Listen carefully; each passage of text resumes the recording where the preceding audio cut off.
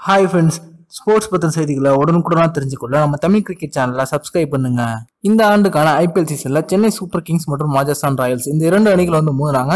இந்த போட்டியில மகேந்திர சிங் தோனி எதிரணி வீரர்களான ராஜஸ்தான் ராயல்ஸ் அணி வீரர்களுக்கு கேப்டனா மாதிரி நிறைய அறிவுரைகள் வந்து கொடுத்திருக்காரு. அது பத்தின முழுமையான தகவலை பார்ப்போம். இதுல ராஜஸ்தான் ராயல்ஸ் மற்றும் சிஎஸ்கே இந்த இரண்டு அணிகளும் மோதின போட்டி வந்து சென்னை சேப்பாக்கம் ஸ்டேடியத்தில் வந்து நடந்துச்சு. இதுல முதல்ல பேட்டிங் செஞ்ச சிஎஸ்கே அணி பாத்தீங்க அப்படின்னா தோனியோட அதிரடி ஆட்டத்தின் மூலமா நூத்தி எழுபத்தி ஐந்து ரன்கள் வந்து குதிச்சாங்க. இதுல வந்து மகேந்திர சிங் தோனி நாற்பத்தி ஆறு பால்ல எழுபத்தி ஐந்து ரன்கள் வந்து அடிச்சிருந்தாரு. அதன் பிறகு பேட்டிங் செஞ்ச ராஜஸ்தான் ராயல்ஸ் அணி பார்த்தீங்க அப்படின்னா எட்டு ரன்கள் வித்தியாசத்தில் தோல்வியை தள்ளிவிட்டாங்க இந்த போட்டி முடிந்த பிறகு ராஜஸ்தான் ராயல்ஸ்ல இருக்கிற நிறைய வீரர்கள் வந்து சிஎஸ்கே அணியோட கேப்டன் மகேந்திர சிங் தோனி கிட்ட அறிவுரை கேட்டாங்க. அது மட்டும் இல்லாம அவங்களோட நின்று செல்ஃபி எடுக்கவும் ரொம்பவே ஆர்வம் காட்டினாங்க.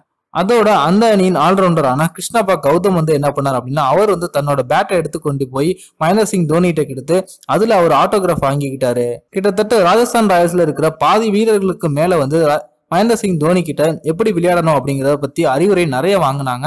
ஏற்கனவே கடந்த ஐபிஎல் சீசன்ல பாத்தீங்க அப்படின்னா டெல்லி அணியின் அதிரடி ஆட்டக்காரரான ரிஷப் பண்ட் மும்பை அணியின் இளம் வீரரான இஷான் கிஷன் போன்ற இளம் வீரர்கள் வந்து மகேந்திர சிங் தோனி கிட்ட நிறைய அறிவுரைகள் வாங்கினாங்க.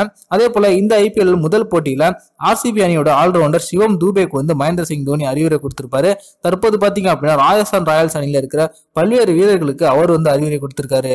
மகேந்திர சிங் தோனி இந்த ராஜஸ்தான் ராயல்ஸ் வீரர்களுக்கு அறிவுரை சொல்வதும் அவங்க கூட நின்று போட்டோ எடுத்துக்கொண்டதும் சமூக வலைத்தளங்கள்ல ரொம்ப வேகமா பரவி வந்துட்டு இருக்கு இதை பார்த்த மகேந்திர சிங் தோனியோட ரசிகர்கள் வந்து இந்த மாதிரியான விஷயங்கள் எல்லாம் கிரிக்கெட்டோட கடவுள் சச்சின் டெண்டுல்கருக்கு கூட அதிகமா நடந்தது இல்ல ஆனா மகேந்திர சிங் தோனி பாத்தீங்கன்னா எதிரணி வீரர்களுக்கு கூட அறிவுரை வழங்குறாரு.